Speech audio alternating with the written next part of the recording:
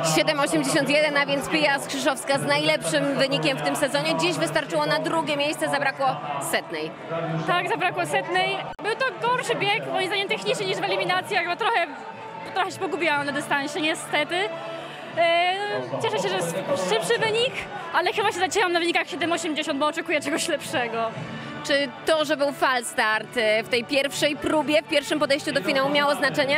Tak, ponieważ nie było fal startu, była zielona kartka i coś dzisiaj było nie tak ze startem, bo w eliminacyjnym biegu pani sędzia błędnie mówiła po polsku do dziewczyny z e, innego kraju, przez co też się zdekoncentrowałyśmy w eliminacjach, a w finale był fal start, którego nie było.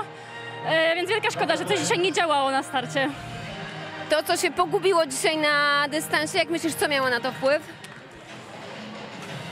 Nie wiem, nie wiem, po prostu na trzecim, czwartym e, płotku chyba skoczyłam, wtedy czułam, że Nadine mnie wyprzedziła i e, mam nadzieję, że zostanie wybaczone, że nie rzucałam się całą sobą jak rok temu, ponieważ chciałam oszczędzić i się nie skontuzjować jak rok temu, więc dzisiaj był mały rzut na metę. To było najważniejsze, żeby tej kontuzji jednak e, nie było. Powiedz, jakie plany na najbliższe tygodnie? Za kilka dni startuję na kolejnym meetingu e, w Liewę, więc jest szansa na poprawę, skład będzie podobny.